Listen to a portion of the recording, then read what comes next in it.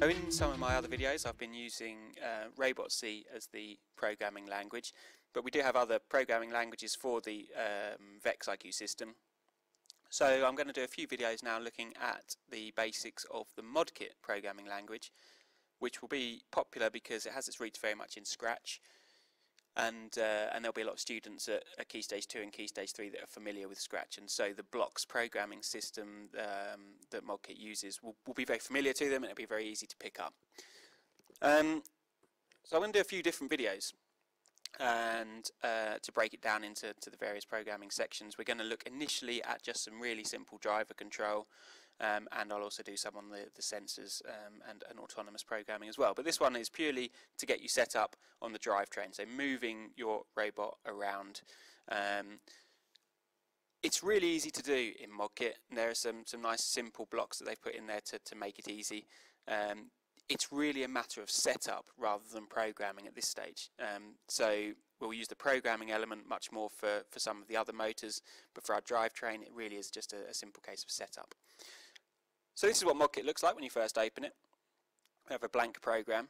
Um, the brain is already in position and we're in the, the robot window here at the moment. There's also the blocks window which we'll look at later but we're just in the robot window and the robot window is for setting up um, and configuring the various motors and sensors and letting ModKit know which port those are plugged into.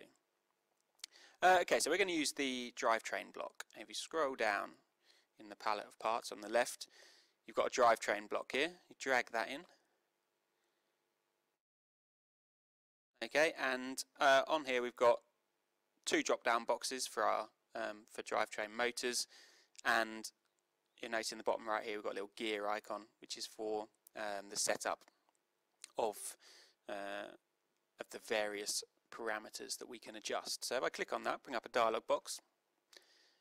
I'm not going to cover all of the other um, all of the other boxes here at the moment because they're not particularly important unless you're using some of the advanced functions of the drivetrain setting in programming. And I'm not going to cover those in this video because there are better ways of, of, um, of controlling your robot in autonomous.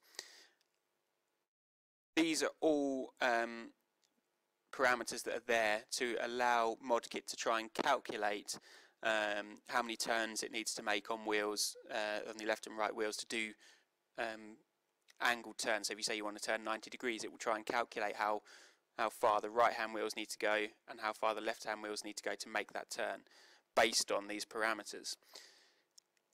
It's uh, it's okay, but it's not particularly reliable because it doesn't take into account things like um, slip, uh, slip, so lack of friction. If any of the wheels slip, what happens there? The, the you know, ModKit thinks it's turned further than it actually has. So when we're doing the turning, uh, we'll be using the gyro for that, and it's a much more accurate way of doing it. So in this uh, box, all we're really interested in is the motor layout drop-down. And you've got four motors, um, or two motors, front and rear. So uh, two motors rear is what we've got here. The motors drive the rear wheels. Two motors front, two motors again, but the motors drive the front wheels, and four motors, you've got one motor for each wheel. In practice, on a competition robot, you'll probably never use four motors on a drivetrain uh, for a competition bot because you've only got a six motor allowance in the rules. Your robot can't have any more than six motors, and so to use four of them on the drivetrain doesn't leave you many for uh, for other functions. So my robot's got two, um, and that's all I all I need to set up for the, for this. So because I've got two, that means there's two drop-down boxes and I need to tell ModKit which ports my motors are plugged into. So in my case, ports 4 and 12, you need to set those to whatever they are on your robot. And you'll see when I plug them in, when I connect those, uh, these little cable icons appear and it tells me what port they're plugged into. And likewise on the brain, I've now got a cable going into port 4 and port 12. It shows me that those, um, those ports are used. Okay, so that's set up. Now I need to um, bring my controller icon in. So let's find the controller in the uh, in the palette. Drop that block in, and now I've got this block uh, as part of my robot setup. When I go back to drivetrain, I've got this new icon up here, little controller here. To click on that, and if you take a look at your controller, you'll see that um, all of the axes on it are labelled um, and all of the various buttons are labelled. So we've got left button, right button, E and F on the front, and then the two joysticks there. We've got A, B, D, and C. Um, so A is forwards and backwards uh, on the, the left stick, B is left and right on the left stick, D is forwards and backwards on the right stick, and C is uh, left and right on the right stick. What I'm going to do is, for my axis D, I'm going to set this up to have uh, what we call arcade control, um, it's commonly referred to. So forwards and backwards on one joystick, and left and right on the same joystick is what controls my robot. So in this case, I'm going to drop down axis D and make that drive forwards and backwards. Axis C, turn left, right. Simple as that. If I wanted the tank control set up,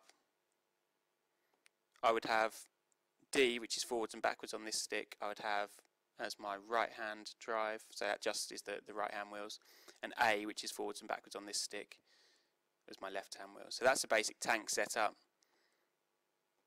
I'm going to go for arcade. Looks something like that.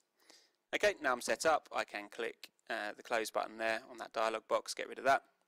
Next I need to give my program a name because I'm just about to download it. So I'll call it uh, Team C2. Then I need to choose a slot on the brain to download the program into. We've got four slots that we can download into, which means we can have four different programs stored at any one time on the brain, which becomes useful in competition, especially if you've got different autonomous routines that you want to be able to run for the uh, for the programming skills part of the challenge. I'm going to use slot 1, so I've clicked on slot 1 there, and then I just press the download button, connected to my robot via the, uh, the USB cable. Press the download button and it says programming device. And when that goes green and says programming OK, it's now downloaded. I can execute my program now by either pressing the check button on the brain um, on the correct program or I can just hit the play button here. So I need my joystick switched on because I'm using a, um, uh, a, uh, a, driver control program. So I need the joystick on. And if I run the program, play, there we go. I can now control my robot. So that's really, really basic setup. Um, and it's the easiest way to get your, your robot up and running. And so in the next video, what we're going to look at is um, configuring my intakes and flywheel.